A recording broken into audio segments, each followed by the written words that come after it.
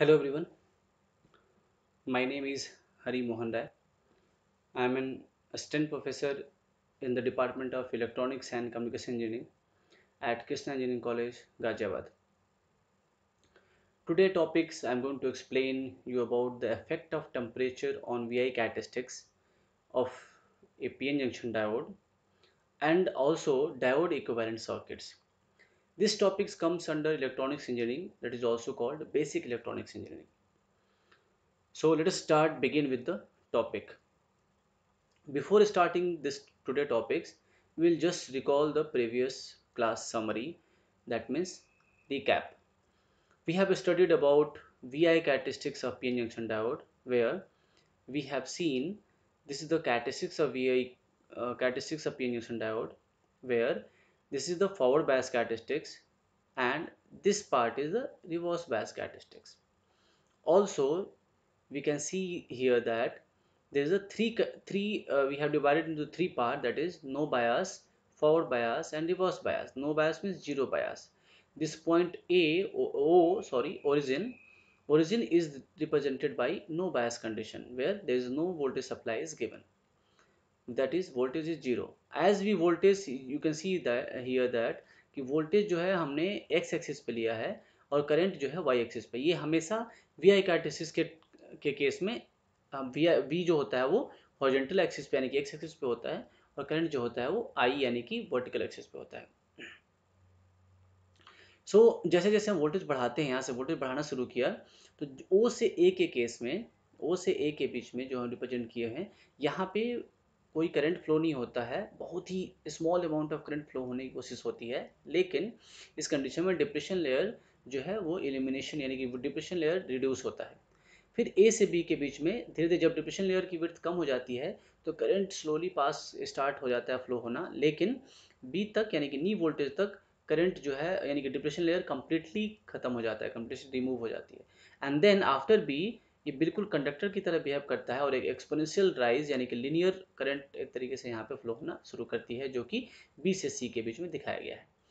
Similarly जब हम reverse bias यानी कि अपोजिट करंट उल्टा करंट जब हम फ्लो कराते हैं रिवर्स बायस कंडीशन में तो उस केस में हम देख सकते हैं कि जो करंट है वो करीब करीब न के बराबर, ये माइक्रो एम्पियर में करंट फ्लो हो रही है, जबकि फॉरवर्ड बायस में करंट मिली एम्पियर में फ्लो हो रहा था। उसी तरीके से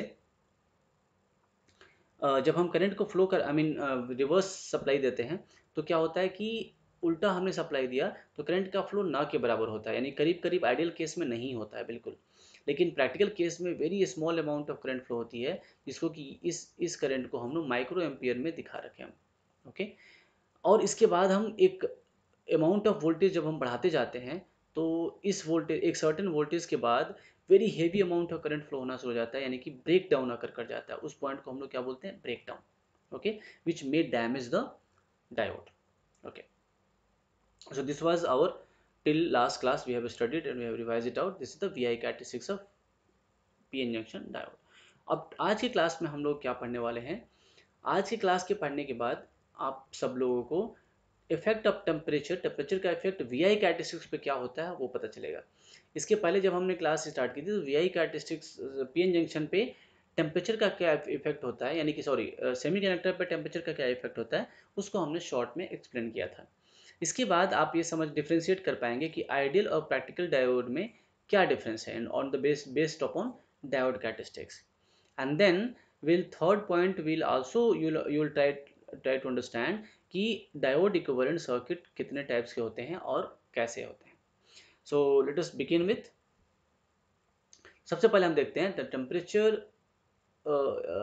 effect on V I characteristics तो there are certain following effect of temperature on the V I characteristics जिसको कि हम वन बाई वन देखेंगे।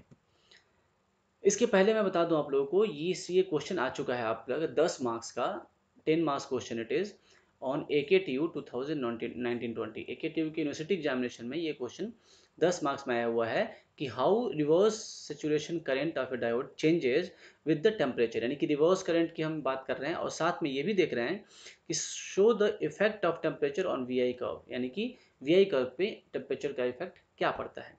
तो चलिए हम देखते हैं वन बाई वन सबसे पहले क्या करते हैं कि जैसे कि पी एन जंक्शन डायोड का जो पैरामीटर्स होते हैं, मैं सबसे पहले सेकेंड पार्ट से स्टार्ट करता हूँ। Show the effect of temperature on V I characteristic curve and then इस, इसमें ये भी हिस्सा इंक्लूड हो जाएगा पहला पार्ट तो जो हम जनरली क्या होता है कि पीएन जंक्शन डायोड जो जो पैरामीटर्स होते हैं, जैसे कि reverse saturation current bias current bias current current का यहाँ का मतलब हो गया फॉरवर्ड करंट की बात करें। रिवर्स ब्रेक डाउन वोल्टेज जो जो कि जहाँ पे कि करंट जो है वो हेवी अमाउंट ऑफ़ फ्लो होता है और करीब करीब डायोड डैमेज हो जाता है। एंड वेरियर वोल्टेज जिसको कि नो नी वोल्टेज जानते हैं, ये टेम्परेचर डिपेंडेंट होता है, यानी टेम्परेचर पे डिपेंड करता है। Okay so how it is that will see one by one उसी तरीके से नी वोल्टेज का मतलब कट इन वोल्टेज होता है या नी वोल्टेज होता है, और उसको डिक्रीज करता है जैसे जैसे हम टेम्परेचर को इंक्रीज करते हैं। और डायोड जो है, वो conducts at smaller voltage at large temperature यानी कि डायोड जो होता है वो लार्ज टेम्परेचर यानी कि कम वोल्टेज पे भी कंडक्ट करना शुरू कर देता है अगर हम टेम्परेचर ज़्यादा रखते हैं तो। सिंपल बात समझ में यानी कि अगर टेम्परेचर कम रखते हैं यानी कि आ, कम वोल्टेज अप्लाई करते हैं तो करंट का कंडक्ट होना कम कम करंट करंट कंडक्ट हो पाता है। लेकिन अगर टेम्परेचर वो बढ़ा देता हूँ तो उसी कम कंडक्ट पे करंट का ज़्यादा कंडक्शन होना शुरू हो जाता है। मैथमेटिकली हम जानते हैं कि डायोड करंट इक्वेशन को हम कैसे लिखते हैं। अभी दो तीन लेक्चर से हम पढ़ते आ रहे हैं कि इसको डायोड करंट इक्वेशन को I D equal to I S e to the power V divide by eta V T minus one से रिप्रेजेंट करते हैं।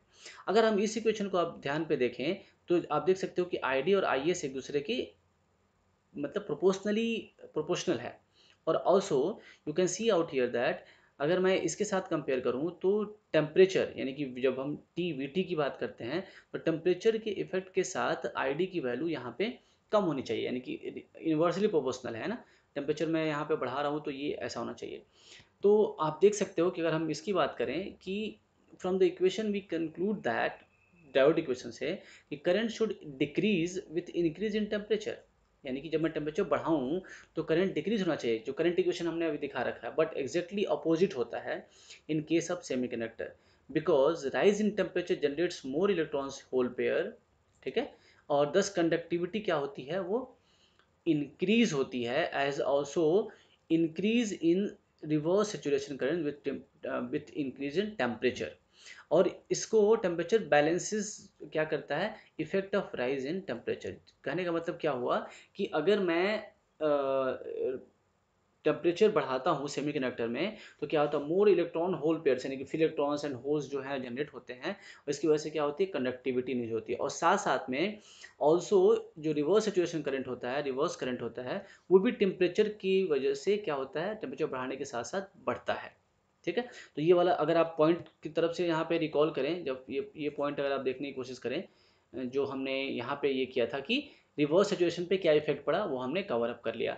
और इसके बाद हम इस पर पूरे टोटल ऑफ़ इफ़ेक्ट जो है वो धीरे धीरे करके एक एक करके हम एक्सप्लेन करने की कोशिश कर ओके okay, अब क्या होता है कि अब इसको दोबारा से हम देख लेते हैं शॉर्ट में कि रिवर्स सिचुएशन करंट जो होता है वो इंक्रीज करता है एज इंक्रीज इन टेम्परेचर यानी कि अगर मैं टेम्परेचर जैसे सिलिकन आपने डायोड लिया और सिलिकन डायोड को एक ही डायोड को 25 डिग्री सेल्सियस पे और 50 डिग्री सेल्सियस पे करेंगे तो रिवर्स करंट जो होगा, वो 25 डिग्री सेल्सियस पे कम फ्लो होगा बट 20 50 डिग्री सेल्सियस पे ज़्यादा फ्लो होगा रिवर्स करंट क्लियर है? अब क्या होता है, एक और इसका एक स्मॉल इक्वेशन है with respect to temperature of reverse saturation current यानी कि आई एस टू और आई एस वन जो यहाँ पे है, वो क्या है? टेम मतलब रिवर्स आई एस किसको रिप्रेजेंट करता है? रिवर्स सिचुएशन करंट को. और टू और वन जो होता है, वो टेम्परेचर यानी कि T two temperature and T one temperature के अकॉर्डिंग जो है इसको बताया गया है कि ये रिवर्स सिचुएशन करंट जो है वो टी टू टेम्परेचर पे है और एस वन जो है वो टी वन टेम्परेचर पे है। तो उसका जो रिलेशन है mathematically it is given as I S two equal to two to the power del T divide by ten in bracket यानी कि overall into I S one यानी कि I S two is equal to I S one into two to power del T divide by ten ये हमारा current का reverse situation current equation है depending upon temperature del T का मतलब हो गया डिफरेंस इन टेम्परेचर जो कि del T two minus T one जो भी बड़ा होगा उसमें से हम छोटे को घटाएँगे, क्योंकि टेम्परेचर यहाँ पे निगेटिव नहीं लिया जाएगा। और यहाँ पे आई एस टू जो है वो रिवर्स करंट है टी टू डिग्री सेल्सियस पे, और आई वस आई एस वन जो है वो रिवर्स करंट है किसका? टी वन डिग्री सेल्सियस पे। इसके बाद ये भी पता चलता है इस इक्वेशन से जब हम ये करते हैं तो कि रिवर्स करंट जो है, यानी कि आई एस डबल हो जाता है at every ten degree Celsius. तो 10 डिग्री सेल्सियस जब हम बढ़ाते हैं, राइज करते हैं टेम्परेचर का तो दो गुना बढ़ जाता है। इसी के बेस पे ये इक्वेशन बनाया गया है कि ये two to the power del T by ten पर टेन डिग्री सेल्सियस जो है वो दस डिग्री के टेम्परेचर का राइज होता है। तो चलिए देखते हैं नेक्स्ट पार्ट में। अब इसके बाद एक टर्म है V T voltage thermal voltage यानी कि इसको ये भी बात बोलते हैं voltage equivalent of temperature general word में टेक्निकल वर्ड में वोल्टेज इक्वलेंट ऑफ़ टेम्परेचर इसका नाम है, लेकिन हम शॉर्ट में इसको थर्मल वोल्टेज के नाम से भी कॉल आउट करते हैं। Also increases as temperature increase जैसे मैं टेम्परेचर बढ़ाऊँगा, ठीक है तो वी टी इजकल टू आपको इक्वेशन याद होगा? वी टी इजकल टू क्या होता है? के टी बाई क्यू है ना? तो अगर वी टी में डायरेक्टली किसके प्रोपोर्शनल हो गया? टेम्परेचर के। अगर मैं टेम्परेचर बढ़ाता हूँ तो क्या होगा? डायरेक्टली जो है मेरा वी टी बढ़ेगी। क्योंकि यहाँ पे के एंड क्यू तो कांस्टेंट है। टेम्परेचर अगर मैं बढ़ाया तो यहाँ पे थर्मल वोल्टेज बढ़ेगी। इसका मतलब कि थर्मल वोल्टेज के का जो वैल्यू है, यानी कि वोल्टेज इक्वलेंट ऑफ़ जो टेम्परेचर है, वो किसके ऊपर डिपेंड करता है? टेम्परेचर के ऊपर डिपेंड करता है। नेक्स्ट जैसे पहले ही बात कर चुके हैं, दोबारा से बात करते हैं, लेकिन जैसे हमने बात की थी कि रिवर्स करंट बढ़ता है, लेकिन what about reverse breakdown voltage reverse breakdown voltage पे क्या फ़र्क पड़ता है? ये भी इंक्रीज होता है एज टेम्परेचर इंक्रीजेज यानी कि फॉर एग्ज़ाम्पल अगर मेरा break down twenty five degree Celsius पे यहाँ हो रहा है, ये ना, ये ट्वेंटी फाइव डिग्री सेल्सियस पे हो रहा है तो जब मैं इसको 25 डिग्री से डबल या ट्रिपल कर दिया, ज़्यादा बढ़ा दिया ट्वेंटी फाइव डिग्री सेल्सियस पे ये ब्रेक डाउन हो गया, और अगर मैंने सेकेंड कंडीशन यहाँ पे ले लिया कि अगर मैं twenty five fifty degree Celsius पे लेता हूँ तो जो मेरा ब्रेक डाउन होगा, अब थोड़ा बढ़ जाएगा। यानी कि ये जो है वो फिफ्टी डिग्री सेल्सियस पे क्या होगा ब्रेक डाउन होगा यानी कि जब मैं टेम्परेचर बढ़ा दिया तो मेरा एक ही एक ही डायोड है। डायोड का मतलब सिलिकन ही की ही बात कर रहे हैं। यहाँ पे जर्मेनियम और सिलिकन दो चीज़ों की बात नहीं हो रही है। दोनों सिलिकन ही है, लेकिन ये 25 डिग्री पे जो है, वो पहले ब्रेकडाउन हो जाएगा, लेकिन 50 पे जो ब्रेकडाउन जो है, वो बाद से होगा। लिटिल डिलेड हो जाता है at higher temperature okay similarly will see some other further point regarding it इसके रिगार्डिंग हम पहले ही बात कर चुके हैं, फिर दोबारा बात कर रहे हैं। रिवर्स सेचुरेशन करंट आईएस जो होता है, वो वो क्या होता है? इंक्रीज करता है एज इंक्रीज इन टेम्परेचर लेकिन एक और भी पॉइंट है इसमें कि राइज जो है सेवन परसेंट साठ डिग्री पर डिग्री सेल्सियस पे होता है for both germanium and silicon approximately और ये डबल अप्रॉक्सीमेटली डबल हो जाता है, यानी कि for every ten degree rise in some temperature यानी कि जैसे हमने बोला था कि दस डिग्री पे क्या होता है? करीब करीब टेम्परेचर डबल के आसपास वेरी कर जाता है। टेन डिग्री सेल्सियस राइज करता है करता है, यानी कि हर टेन डिग्री सेल्सियस के ऊपर। और इसका जो परसेंटेज इंक्रीज जो है, वो seven percent per degree Celsius पे करीब करीब टेम्परेचर का इंक्रीज के साथ साथ रिवर्स सिचुएशन करंट का इंक्रीज होता है। क्लियर अब बैरियर की बात करते हैं तो बैरियर पोटेंशियल भी डिपेंड करता है, जैसे अभी हमने बात किया, किसके ऊपर? टेम्परेचर के ऊपर। और इसमें भी क्या बोलते हैं इंक्रीज एंड डिक्रीज होता है। तो क्या होता है बैरियर पोटेंशियल जो होता है, वो डिपेंड करता है टेम्परेचर के ऊपर। अगर मैं निगेटिव में बात करूँ तो निगेटिव में तो डिक्रीज होगा, लेकिन ऐसे क्या करता है इंक्रीज होता है by two milli volt per degree Celsius for germanium and silicon okay and the last part is the break down voltage just we talked about sorry यहाँ पे barrier voltage just I I recall this point it it is not reverse breakdown voltage barrier voltage का मतलब है कि knee voltage knee voltage भी temperature के ऊपर depend करती है. यानी कि अगर मैं टेम्परेचर बढ़ाऊँगा तो नी वोल्टेज घटेगी, उल्टा. यानी कि टेम्परेचर बढ़ाएँगा तो नी वोल्टेज घटेगी. क्यों नी वोल्टेज घटेगी? क्योंकि ज़्यादा टेम्परेचर पे ज़्यादा करंट फ्लो होती है. ज़्यादा करंट फ्लो कब होगा? जब नी वोल्टेज क्या होगा हमारा? कम होगा। नी वोल्टेज जितना कम होगा, उतना जल्दी टेम्परेचर का फ्लो होना, यानी करंट का फ्लो होना स्टार्ट हो जाएगा।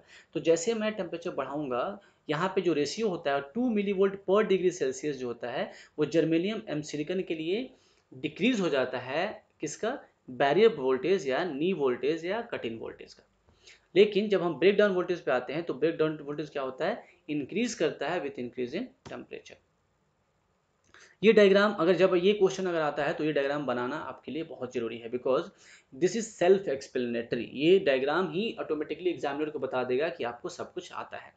इस डायग्राम से देखिए, एक हमने 25 पे लिया है, दूसरा 225 डिग्री पे लिया है। For example you can take T one plus यहाँ पे टी वन प्लस एक्स भी ले सकते हैं।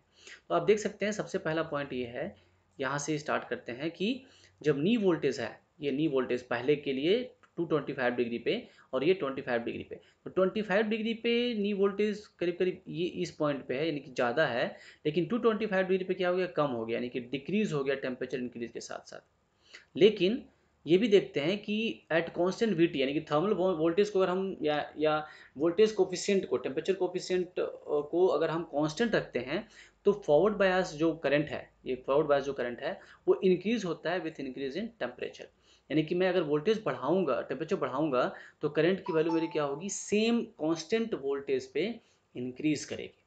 ठीक है? देन आते हैं हम ब्रेक डाउन कंडीशन पे। तो ब्रेक डाउन कंडीशन में क्या होता है? ब्रेक डाउन वोल्टेज भी इंक्रीज करती है विथ इंक्रीज इन टेम्परेचर यानी कि जैसे मैं इंक्रीज करूँगा टेम्परेचर को तो मेरी ब्रेक डाउन वोल्टेज भी इंक्रीज कर यानी कि कम टेम्परेचर पे 25 डिग्री सेल्सियस पे ब्रेक डाउन पहले हो जाएगा, लेकिन ज़्यादा टेम्परेचर पे थोड़ा बाद में होगा। अब आते हैं I S one I S two यानी कि reverse situation current one reverse situation current two तो ये ये देख सकते हो कि ये अमाउंट ऑफ़ करंट जो है, वो है पच्चीस डिग्री सेल्सियस पे ट्वेंटी फाइव पे, और ये जो है, वो फिफ्टी डिग्री सेल्सियस पे है. क्लियर है? तो 50 डिग्री सेल्सियस पे जो मेरा टेम्परेचर हो रहा है, यानी कि जो करंट है, वो ज़्यादा फ्लो हो रहा है. आई एस टू ज़्यादा फ्लो हो रहा है as compare to I S one यानी कि टेम्परेचर बढ़ा रहा हूँ मैं तो रिवर्स सिचुएशन करंट भी बढ़ रही है. है ना? So this is all about you can say effect of temperature on complete V I characteristics as well as reverse break down voltage पे या रिवर्स करंट पे क्या इफ़ेक्ट पड़ता है टेम्परेचर का। तो आगे बढ़ते हैं हम लोग और नेक्स्ट जो हमारा पोर्शन है, वो आइडियल वर्सेस प्रैक्टिकल डायोड क्या जनरली जब हम सेकेंड यूनिट पे जाएँगे तो कम्प्लीटली हम लोग आइडियल डायोड की बात करेंगे। इसलिए हमें जानना ज़रूरी है कि आइडियल एंड प्रैक्टिकल डायोड के कैरेक्टरिस्टिक्स में क्या फ़र्क पड़ता है। ये जो कैरेक्टरिस्टिक्स जो अभी अब थोड़ी देर पहले हमने पढ़ी थी, ये जो कैरेक्टरिस्टिक्स है वो है वी आई कैरेक्टरिस्टिक्स की, यानी कि ideal characteristics germanium and silicon का। क्योंकि जर्मेनियम का नी वोल्टेज कम होता है, इसलिए यहाँ पे पहले फ्लो करते हुए दिखाया गया है, और सिलिकन का ज़्यादा होता है, इसलिए ज़्यादा पहले, बाद में फ्लो करते हुए दिखाया गया है। सिमिलरली रिवर्स बायास में। लेकिन जो आइडियल कंडीशन में आएँगे तो ये जो नी वोल्टेज जो 0.3 और 0.7 का कॉन्सेप्ट है, वो खत्म हो जाता है। यानी कि आइडियल का मतलब क्या है? जैसे स्विच की तरफ़, जैसे हमने स्विच ऑन किया करंट फ्लो होना स्टार्ट हो गया, जैसे स्विच बंद कर दिया करंट क्या हो गया, बंद हो गया। वो है आइडियल कंडीशन ऑफ़ डायोड अब जैसे यहाँ पे मैंने दिखा रखा है, ये मेरा ज़ीरो पॉइंट है। जैसे ही मैंने ज़ीरो यानी कि ज़ीरो प्लस किया जस्ट स्विच मैंने जस्ट ऑन किया, तुरंत सारा का सारा करंट फ्लो हो जाएगा। यानी कि कोई भी इसमें रेजिस्टेंस यानी कोई रेसिस्टिविटी नहीं होगी। All the current will flow at a point जैसे ही मैंने स्विच को ऑन करूँगा मैं। स्विच ऑन करने का मतलब ऑटोमेटिकली ऑन होगा, जैसे ही उसको सप्लाई ज़ीरो से ज़्यादा मिलेगा। और ज़ीरो से पहले, यहाँ से यहाँ तक, जितना भी निगेटिव वोल्टेज के लिए क्या होगा, हमें करंट जो है, यानी कि रिवर्स करंट हमेशा क्या मिलेगी? ज़ीरो मिलेगी। क्लियर है? और फॉरवर्ड करंट हमेशा मैक्सिमम मिलेगी। किस केस में? आइडियल करंट में। आइडियल कैरेक्टरिस्टिक्स में। लेकिन प्रैक्टिकल कैरेक्टरिस्टिक्स में क्या होगी? प्रैक्टिकल कैरेक्टरिस्टिक्स में सब कुछ होगा। फॉर एग्जांपल आप वोल्टेज अप्लाई करोगे नो बायस कंडीशन होगी फॉरवर्ड बायस कंडीशन में क्या होगा? धीरे धीरे करंट का फ्लो होगा और एक्सपोनेंशियल राइज होगा, यानी कि इसमें रेसिस्टेंस भी डेवलप होगा। और रिवर्स बायस में भी कुछ अमाउंट ऑफ़ करंट फ्लो होगी। तो this is the difference between ideal and practical तो जब आपको डायग्राम बनाने के लिए आएगा या पूछा जाएगा तो आपको ये डायग्राम आइडियल के लिए और ये डायग्राम प्रैक्टिकल के लिए बनाना है। आप चाहें तो यहीं पे इसी डायग्राम में, जो सेकेंड वाला डायग्राम है, उसी डायग्राम में आप दोनों का ये बना सकते हैं। यानी कि यहाँ पे आप आइडियल का ये कर सकते हैं थोड़ा सा ये लाइन से और दिखा सकते हैं कि ये आइडियल की कैरेक्टरिस्टिक्स है और ये किसकी कैरेक्टरिस्टिक्स है? प्रैक्टिकल की कैरेक्टरिस्टिक्स है। Okay so let us move to the next part continuation of इसी का पार्ट का आइडियल डायोड को हम कैसे दिखाते हैं। ये हमारे आइडियल डायोड है, देख सकते हैं। तो फॉरवर्ड बायस का मतलब है कि ये डायोड को मैं सिंबल इस तरीके से होता है अभी मैं दोबारा से बता दे रहा हूँ। इसके पहले मैंने नहीं बताया है एक्सप्लेन नहीं किया आपको। तो this is the symbol of diode ये पॉजिटिव पोर्शन यानी कि इसको हम लोग एनोड बोलते हैं और ये इसका नेगेटिव पोर्ट यानी कैथोड होता है। जनरली डायोड प्रैक्टिकल डायोड जो है वो कुछ इस तरीके से दिखता है। ऐसे बिल्कुल ऐसा होता है और एक यहाँ पे पट्टी बनी हुई होती है इस तरीके से।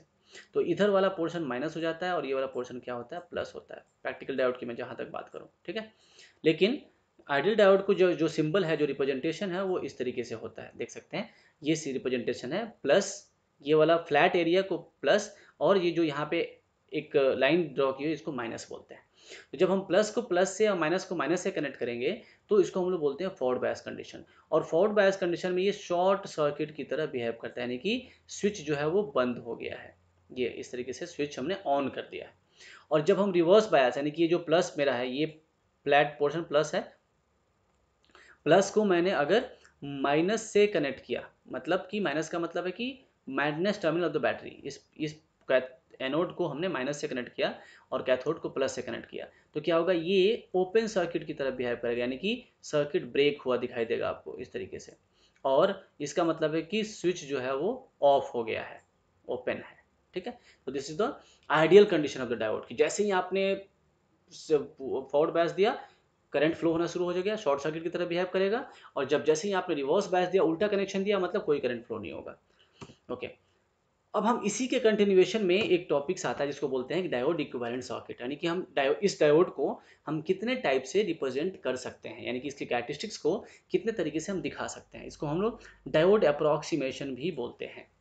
और इसको हम डिफाइन करते हैं and equivalent circuit is a combination of element properly chosen to best represent the actual terminal characteristics of a device system or such in a particular operating region इसका मतलब ये हुआ कि हम इस तरीके से चीज़ों को हम चूज़ करते हैं जो कि हमारे एक्चुअल कैरेक्टरिस्टिक से कम्प्लीटली मिलता जुलता हो और उसी के जैसा दिखे। उसको हम लोग इक्वेलेंट या अप्रोक्सीमेशन बोलते हैं। लेट अस सी हियर इसको हम तीन इक्वेलेंट मॉडल में रिप्रेजेंट करते हैं। थ्री इक्वेलेंट मॉडल होता है जनरली इसका। कौन कौन सा? पहला कंप्लीटली आइडियल जो अभी थोड़ी देर पहले बात की थी, दोबारा हम बात करेंगे। और इसको हम बोलते हैं फ़र्स्ट अप्रोक्सीमेशन पहला अप्रोक्सीमेशन सेकेंड है simplified equivalent circuit simplified equivalent circuit को हम लोग क्या बोलते हैं? सेकेंड अप्रोक्सीमेशन मॉडल यानी कि सेकेंडली थोड़ा सा और प्रैक्टिकल के करीब जाते हैं। ये कंप्लीटली आइडियल होता है, ये थोड़ा सा प्रैक्टिकल के करीब होता है। इसके बाद होता है third piecewise linear approximation यानी कि piecewise linear equivalent circuit और इसको हम थर्ड अप्रोक्सीमेशन बोलते हैं, जो करीब करीब एटलीस्ट ऑलमोस्ट प्रैक्टिकल के करीब होता है। ठीक है? तो let us see one by one ideal equivalent circuit ideal equivalent circuit just इसके पहले हमने बात किया था फ़र्स्ट अप्रोक्सीमेशन में, जो कि ये एक ideal V I V I diode यानी कि पी डायोड है। इसमें क्या होता है कि जैसे ही आपने, इसमें हम एज्यूम करते हैं कि डायोड स्टार्ट तुरंत स्टार्ट कर देता है conducting immediately when applied voltage is V V F या वी एफ़ से बड़ा वी एफ़ का मतलब ये ज़ीरो को हमने यहाँ पे वी एफ़ माना है, यानी कि just greater than zero hence its cut in voltage is zero यानी कि जैसे ही ज़ीरो से थोड़ा सा भी ज़्यादा करंट फ्लो होता है तो ये तुरंत करंट का फ्लो होना इसमें शुरू हो जाता है। तो इसलिए हम इसको आइडियल कैरेक्टरिस्टिक्स का मतलब है कि आइडियल जैसे ही ज़ीरो हम देंगे करंट फ्लो होना स्टार्ट हो जाएगा, यानी कि ऑन हो जाएगा और उसके पहले क्या रहेगा? ऑफ़ होगा, जो कि आप यहाँ पे देख सकते हैं। Ideally forward bias is consider to be short circuit ये बात हमेशा ध्यान रखते हैं, क्योंकि हम जब आगे यूनिट में पढ़ेंगे तो शॉर्ट सर्किट हमेशा लेके चलेंगे फॉरवर्ड बायस को और रिवर्स बायस को हम क्या लेके चलेंगे? ओपन सर्किट लेके चलेंगे। क्लियर है? Just okay okay. अब आते हैं हम लोग सेकेंड अप्रोक्सीमेशन में, यानी कि simplified equivalent circuit simplified equivalent circuit में क्या करते हैं? हम थोड़ा सा हम नी वोल्टेज को भी कंसिडर करते हैं। तो अभी हमने वीएफ को वहाँ पे क्या माना था? ज़ीरो माना था। बट यहाँ पे वी को हमने क्या ले रहे हैं? नी वोल्टेज के बराबर ले रहे हैं। है ना? तो for the most of the cases in diode application forward resistance R F is very small and it can be neglected यानी कि इसमें हम रेजिस्टेंस को कंसिडर नहीं करते हैं। सिर्फ़ हम नी वोल्टेज को कंसिडर करते हैं। And this reduced the circuit known as simplified equivalent circuit और second approximation of the diode तो इसमें हमने क्या किया? वी एफ़ यानी कि नी वोल्टेज और आइडियल डायोड दोनों को हमने कंबाइन कर दिया। तो अब देखिए यहाँ पे अगर मान लेते हैं कि ये सिलिकन को हमने माना है सिलिकन को अप्रोक्सीमेशन सेकेंड अप्रोक्सीमेशन मुझे दिखाना है तो मैं क्या करूँगा कि इसको शॉर्ट सर्किट कर दूँगा और उसके वी एफ़ की जगह पे 0.7 वोल्ट वोल्टेज लगा दूँगा। कब? जब ये फॉरवर्ड बैस होगा तो। रिवर्स बैस में क्या होगा? स्विच को मैं ओपन कर दूँगा और यहाँ पे 0.7 वोल्ट की बैटरी ऑलरेडी एक तरीके से बिहेव कर रही होगी। तो ये हो गया आपका सेकेंड अप्रोक्सीमेशन तो करीब करीब ये करीब हो गया, क्योंकि आइडियल कंडीशन प्रैक्टिकल कंडीशन में भी 0.7 के बाद करंट का फ्लो होना स्टार्ट होता है। यहाँ भी एग्जैक्ट 0.7 पे सारा का सारा करंट जो है वो फ्लो हो जा रहा है। अब आते हैं piecewise linear equivalent circuit में। इसके नाम से पता चल रहा है कि पीस वाइज लिनियराइजेशन करते हैं। यानी कि जो हमारा प्रैक्टिकल सर्किट है, मैं प्रैक्टिकल दिखा रहा हूँ यहाँ पे, ये हमारा प्रैक्टिकल है। तो प्रैक्टिकल को हम क्या करते हैं? इस तरीके से कन्वर्ट करते हैं कि पीस वाइज मतलब एक एक पीस में इसको लीनियर लीनियर लाइन से रिप्रेजेंट करते हैं। तो क्या करते हैं? यहाँ से यहाँ तक एक लीनियर लाइन में रिप्रेजेंट कर देते हैं और यहाँ से यहाँ तक दूसरे लीनियर लाइन में रिप्रेजेंट करते हैं, जो कि नीचे वाले डायग्राम में आपको क्लियरली विजुअलाइज होगा, ये डायग्राम है। ये मेरा प्रैक्टिकल है। प्रैक्टिकल वाला, ये जो, ये देख सकते हैं, ये लाइन जो है वो प्रैक्टिकल डायोड की कैरेक्टरिस्टिक्स है और ये जो लीनियर लाइन से दिखाया गया है, ये और ये, दो लाइन से ये हमारा क्या है? Piecewise linear equivalent circuit है। तो इसी को डिफाइन किया गया है कि if we approximate the characteristics of diode by straight lines मतलब लीनियर लाइन से इन ए सेगमेंट और in a piece this is called piecewise linear approximation next अगर नी वोल्टेज नी वोल्टेज हमारा जैसे मान लो वी एफ़ है, इस case में क्या करते हैं टू ऑप्टेन दिस अप्रोक्सीमेशन यहाँ पे वी एफ़ यानी कि knee voltage in case of silicon zero point seven volt को भी यूज़ करते हैं साथ साथ में जो रेसिस्टेंस ऑफ़र होता है, क्योंकि हमारा जो पोटेंशियल जो बैरियर पोटेंशियल है, वो क्या करता है करंट के फ्लो को रेसिस्ट करता है। तो उसको भी इस केस में कंसिडर करते हैं, ठीक है? तो इस केस में उसको हम लोग क्या करते हैं the it is marked voltage axis and the straight line is drawn with the slope equal to the reciprocal of dynamic forward resistance, okay? Next part में। अब क्या this approximation consist of two straight line piecewise में, पहला ये zero से VF के बीच में और दूसरा वीएफ से लेके ये आगे की लाइन तो one horizontal line along with the voltage axis ये और another is nothing but one R F nothing from the knee voltage knee voltage से ये वीएफ के बाद से वन बाई आर यानी कि स्लोप को रिप्रेजेंट करते हैं. अब ये इसी का जो इक्विवेलेंट है, वो यहाँ पे दिखाया. हमने क्या किया? एक वोल्टेज ले लिया जो कि 0.7 मान के चलते हैं. आर क्या है? आर जो है इसका ऑफ़ रेसिस्टेंस जो ऑफ़र होता है डायोड द्वारा, वो। और ये इक्विवेलेंट आपका, यानी कि आइडियल इक्विवेलेंट डायोड है। तो इस तरीके से हमारा जो आपका पीस वाइल लिनियर अप्रोक्सीमेशन यानी कि piecewise linear equivalent circuit को भी हमने अभी पढ़ा। तो तीन कौन कौन सा हो गया? आइडियल दूसरा क्या है? सिंप्लीफाइड तीसरा piecewise linear equivalent model तो इन तीनों को हमने वन वन किया। पहला कंप्लीटली आइडियल है, दूसरा क्या है? Little near to the ideal practical third approximately equal to the ideal जिसमें कि हम नी वोल्टेज एज वेल एल डायोड का इक्विवेलेंट जो, यानी डायोड का जो रेजिस्टेंस होता है, उसको भी इंक्लूड करते हैं। अब ये जो हमने पूरा कंप्लीट किया, उसमें हमने पढ़ा कि टेम्परेचर का इफ़ेक्ट क्या होता है वी आई कैटेस्टिक्स पे, और डायोड इक्विवेलेंट सर्किट के बारे में हमने पढ़ा, और ideal versus diode practical diode की कैरेक्टरिस्टिक्स कैसे दिखती है, वो देखा। और इसी को आप अपने दो मिनट टाइम लीजिए और टेस्ट कीजिए कि जो भी हमने पढ़ा अभी इस लेक्चर में उस पर हम लोग कितना उसको सही तरीके से जवाब दे पाते हैं। Let us see here first the reverse saturation current increases as the temperature just fill in the blanks अपने ब्लैंक इस ब्लैंक को फ्लिक कीजिए। क्या होगा यहाँ पर? डिक्रीजेज होगा या इंक्रीजेज होगा? इंक्रीजेस होगा यस नेक्स्ट अगर हम ये करते हैं कि the voltage equivalent of temperature यानी कि थर्मल वोल्टेज को क्या होगा जब हम डिक्रीज करते हैं कब जब टेम्परेचर डिक्रीज करेंगे तो डिक्रीज होगा या इंक्रीज करेंगे तो इंक्रीज होगा? Yes it is V directly proportional तो जब डिक्रीज करेंगे तो टेम्परेचर डिक्रीज होना चाहिए। डिक्रीज जब टेम्परेचर डिक्रीज करेंगे तब जाके थर्मल वोल्टेज हमारा डिक्रीज होना चाहिए। Third question knee voltage of a diode जो हमारा कठिन वोल्टेज है, वो क्या होगा? डिक्रीज होगा या इंक्रीज होगा टेम्परेचर बढ़ाने के साथ साथ? जस्ट थोड़ी देर पहले देखा था हम लोगों ने।